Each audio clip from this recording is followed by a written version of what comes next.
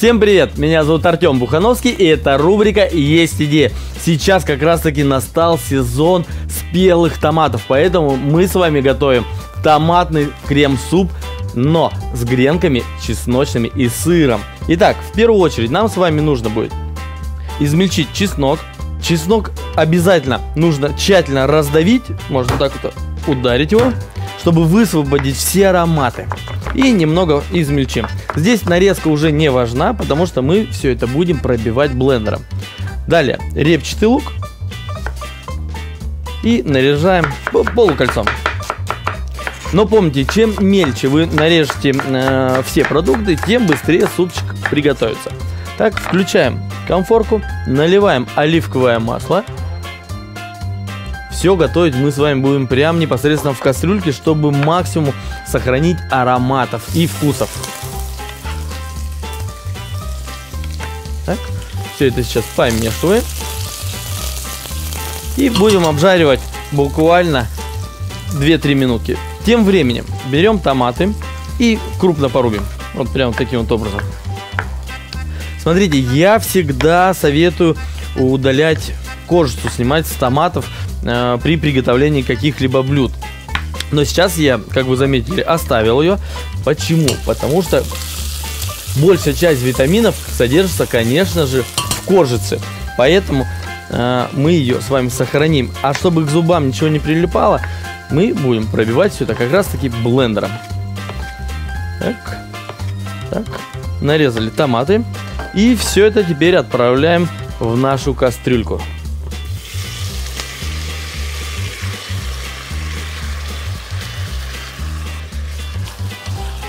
Помешаем все тщательно. И пока томаты насыщаются ароматами чеснока и лука, мы с вами возьмем нарезанный уже хлеб заранее. Далее чесночок. И максимально точно так же э, измельчим, предварительно раздавив.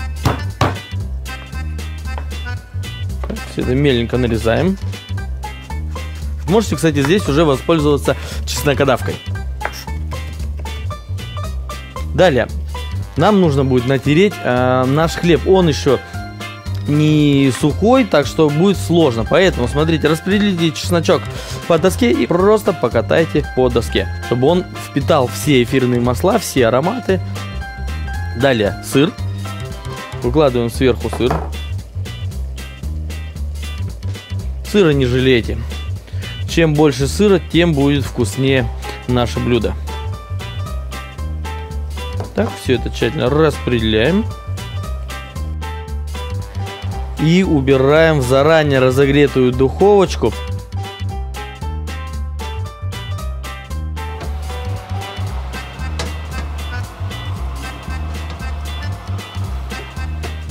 Выпекаем наши гренки при 200 градусах до румяного колера. Томаты уже у нас с вами готовы, поэтому можно добавить немного воды.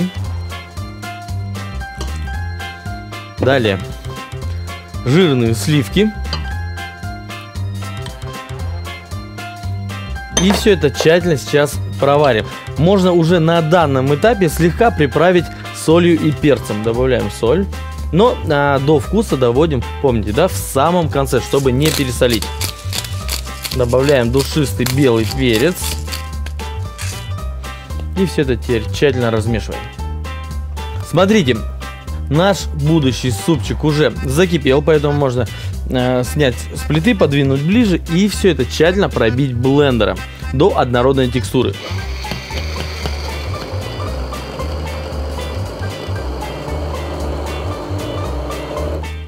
Так, готово. Лишнее мы сейчас с вами все убираем. Так, подсаливаем. И все это теперь тщательно помешиваем. Обязательно пробуем идеально. Посмотрим, как же э, наши гренки. Отлично, они уже полностью готовы. Выкладываем на тарелочку. И оформляем наш суп. Прекрасный крем-суп из спелых томатов. Наливаем. Какой же он красивый. Самое главное, там просто уйма пользы и витаминов. И, кстати, этот суп можно подавать как холодным, так и горячим. Смотрите, прям окунем таким вот образом греночку, вторую. И украшаем все обязательно веточками фиолетового базилика. Он придаст просто незабываемый аромат.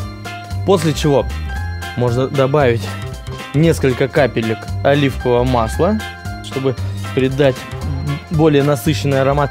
И все, наш крем-суп из спелых томатов уже полностью готов. Вам я желаю приятного аппетита. Не забывайте подписываться на наши социальные сети и не пропустите новые выпуски рубрики «Есть идея». Пока-пока!